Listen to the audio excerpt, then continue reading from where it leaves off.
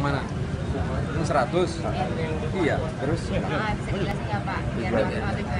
Pertama, warga mempermudah akses kepada kepala daerah. Ya. Kan selama ini banyak persoalan-persoalan yang mandek. Pelayanan-pelayanan yang yang nggak bisa di